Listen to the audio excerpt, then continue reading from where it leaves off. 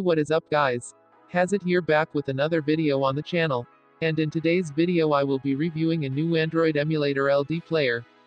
But before starting the video if you don't know what is the LD player, then let me give you a quick introduction. So basically LD player is also an Android emulator just like BlueStacks and Memu. And with LD player you can play any Android games or apps in your PC.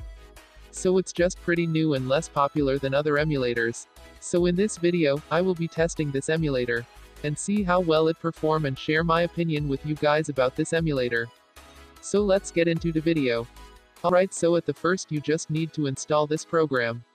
So just go to at the link of the description and download this free emulator.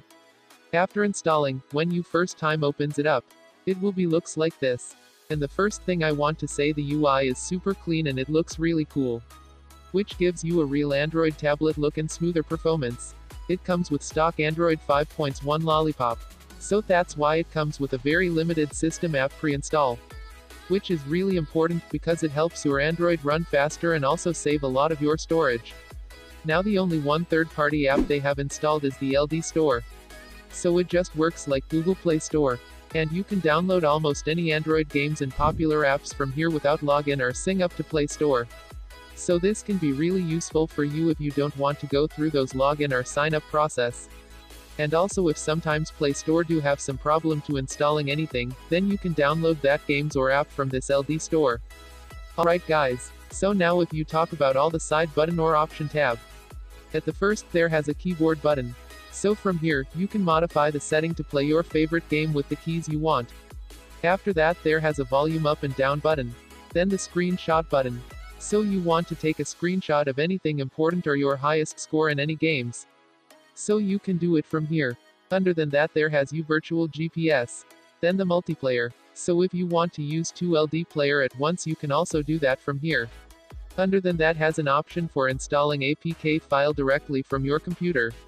Then there has your settings option. And then the full screen option. So if you want to play any Android game in full screen you can also do that. Next to your shared folder, from there you can share files from your PC to LD Player or LD Player to your PC. Then the Shake option. After that operating recorder.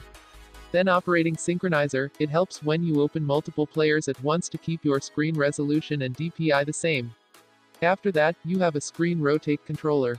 And then your screen recorder. So if you want to record anything you don't have to download any other screen recorder. Because it's more than enough, the quality is pretty good and didn't make your game lag while you are recording. And at the last, there has you back button, home button, and the app switch button. Now if you are familiar with all of the button and options. Now let's talk about the performance of this emulator. So I have installed a lot of games and app and playing them for 3 days now. And the performance really shocked me. Because actually this performs really good. Honestly, it was one of the best performing emulators I have ever tried. But before 7 days I wasn't even heard about this emulator. And now this is my favorite emulator.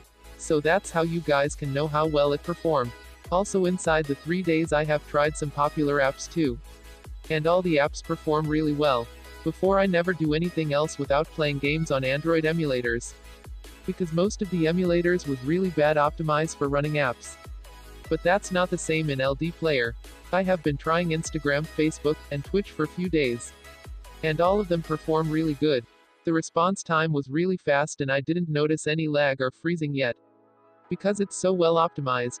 But for proof, I have also run a benchmark on LD Player to show you guys how well it performs. But before showing the benchmark result, this is the system I have run the benchmark.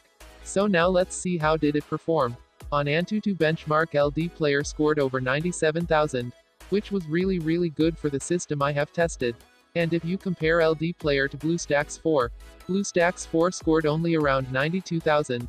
So from the benchmark you can understand how well it performed compared to other emulators. Also if I talk about some of the extra features of LD player. I have to mention that this emulator is rooted. So if you go to the settings. From here you can change your screen resolution and DPI. Then you can change your computer resources. Of course for the best performance change the resources to the highest. Then in the basic settings, you can change the rotation settings. Then you can enable or disable to the root access. It comes with root enabled and this is pretty important in some situation. Because there has some apps that support only a rooted device. So that's why with LD Player you can run all of that apps. And also another really cool feature of LD Player that it supports game controller. So if you don't want to play with mouse and keyboard here you have an option to playing with your controller too. So after watching all the benchmark and all the demo gameplays, hopefully you understand how good this emulator is. So I will definitely 100% recommend you to try this emulator. This emulator is really underrated compared to how well it performed. So I'm pretty sure you will definitely like it. So if you want to try LD Player for yourself, the download link is in the description. So just go to it the link in the description and download it. Alright guys, so that's it for today's video. So if you like this video make sure to leave a like.